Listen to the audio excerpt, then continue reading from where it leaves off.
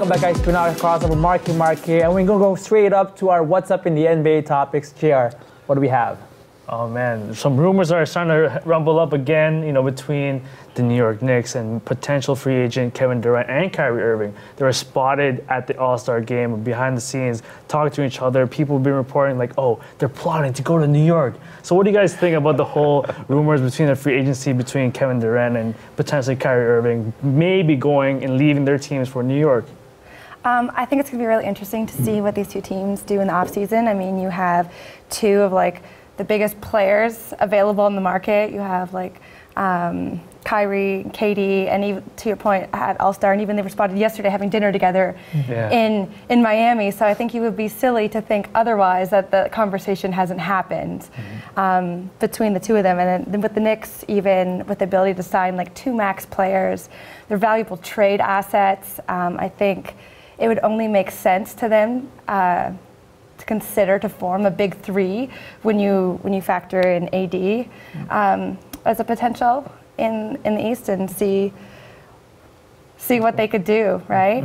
And Yeah, I mean, like, I think it's crazy to be honest. Like, how the media can like, you know, twist Turn everything around, around. yeah. Like, you know, they they could have been talking about who knows what. You know, not even close to what the media is saying, right? Which is which is crazy. But like, I think, man, if if, if somehow Kyrie and, and KD end up in New York, man, that's gonna be that's going to be a team to reckon with for sure. That's for sure. Uh, and if if that does happen, like I think that they should probably like you know try and get AD for sure.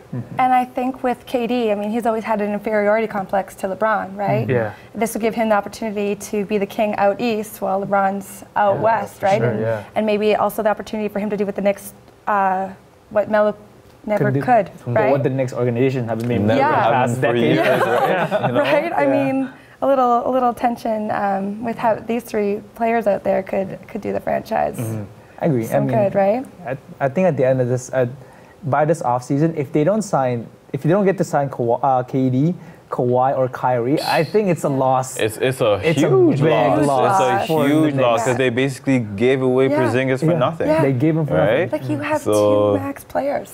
But I think they'll get someone. Like if they don't get KD or or Kyrie.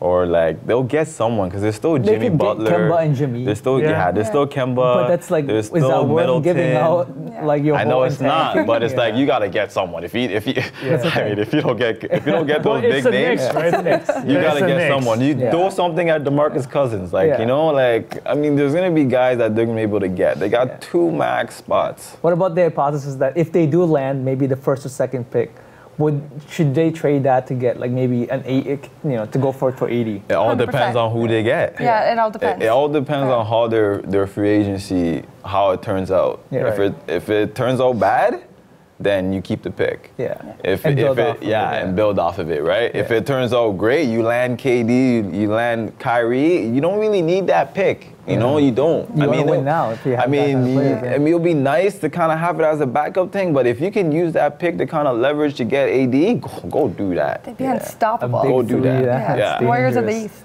Like, This next tape's gonna be coming back. Yeah. Next tape, it'll be a serious It's next coming tape. back. I can't wait. We're coming back with a vengeance. Yeah. Um, let's go. To, let's go to the West. Uh, you know, we talked about Anthony Davis, but what do you guys think about the Lakers so far? You know, all the trade rumors are finally over for them. All the bench players are finally trying to play at a level that they were supposed to play. What do you guys think they're going to make the playoffs, or are, are they going to be, you know, This is the first time maybe Yeah. that LeBron does not make the playoffs. I mean, my my basketball expert hat says, you know, they'll make the playoffs. Mm-hmm. Mm-hmm. But like the basketball fan in me doesn't want them to make the playoffs. You know, mm-hmm. like I don't feel like I, don't, I mean, and I have a bet too. so let's, let's- let's put it out there. just to put it out there. Yeah, yeah, I, yeah. I need them to not make the playoffs. Yeah, yeah. But um, I feel like, I mean, with LeBron, you know, putting out there that he's activated his playoff mode, that kind of scares me. Yeah. So, like, I feel like with that being said,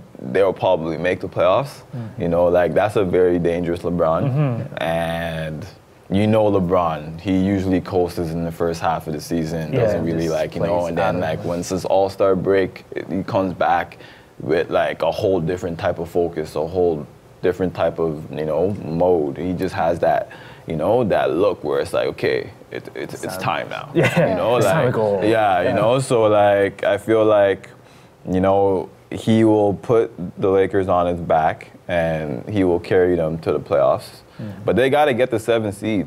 Yeah. If they get the eighth seed, Done. For a chance to They're make done. it to make a deep run in the playoffs, yeah, seven they're seed. done. If they make it, if they get the seventh seed, they can make it to the Western Conference Finals. Because I mean, at the end of the day, I feel like any team they, the Lakers can beat besides the Warriors. Yeah.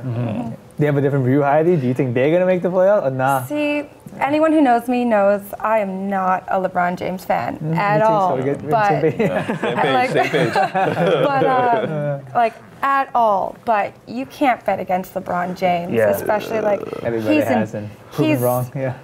You have to assume the Lakers are making the playoffs until they don't make the playoffs at Mm-hmm. this point, right? And to mm-hmm. Don's point, I think I think they'll end up in the in the seventh seed, and mm-hmm.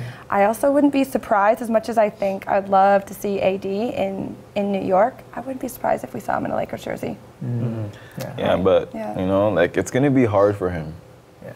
Yeah. It's gonna be hard. He has to go 18 and seven Yeah. the rest of the And season, have the and they have the fourth schedule. toughest schedule. Yeah. Like In the West too. yeah, It's so not like I like my I like my betting odds. Yeah. You know, so But but he still makes me nervous at the that same LeBron time. James It's mentality, hard. like you Yeah, can't. It's hard. It would be fun to see him make a good run uh, for the Yeah, make that a would be fun. Oh, that would be good. That would be good entertainment. Yeah, man. It's You like know? it's like his old team when he was in Cleveland when he carried basically carried his team to the East- Eastern Conference Yeah. Finals. You know, Yeah. Yeah. Yeah. he could be he could basically do the same thing out yeah. west. Yeah. Yeah. But it's he has he has to make this to seven seed though. Yeah. Yeah, He can't do that. I agree. A seed. Yeah. The Warriors will finish them. They'll probably win like one game. Uh, quickly, I want to get your thoughts about the past All Star weekend in Charlotte. I know Heidi, you were you were there. Yes. What did you guys think about the whole festivities that whole weekend? Um, I thought, uh, first of all, I was so lucky to be there and be a part of each of the events. I thought this was probably the best All Star weekend since Toronto. Um, the Saturday night was unreal. I mean, you look at the l- level of athleticism in like today's NBA. Who dunks over Shaq? That was crazy. Yeah. Yeah, I couldn't believe Like, it. Yeah, that was- I I thought don't he think lifted, any- I don't think anybody saw Yeah. that coming. Yeah, really that good. was, Right? That Like, was that's- pretty nice. You would not have seen that Yeah. That was even pretty a- nice. five years ago, right? Yeah. So it was, it was pretty cool. It was a pretty good experience. So. Yeah. Mm. And last picks, I guess, for MVP. Who do you guys have so far for the first half of the season? It's a close tie It's between your close. three It's players. close, yeah. but I'm gonna go. I'm gonna go with. Uh, I'm gonna go. Oh man, it's close. it's close. Who's your favorite out of the three? Paul George, Harden, or Giannis? Like I gotta go with Team Giannis. Team Giannis. I was, I'm gonna say the same Yeah. thing, man. I'm gonna go with Giannis. Like, I felt like he's he's he's worked so hard Yeah. to get Yeah. to that to that point I now, and like, and I, I just watched his documentary that Yeah, that, that just crazy. came out. Yeah. Oh Really my good. gosh, That man! Just was- I seeing was like, moved. yo, I was so motivated after watching that. I was like, man, just give him the MVP, man.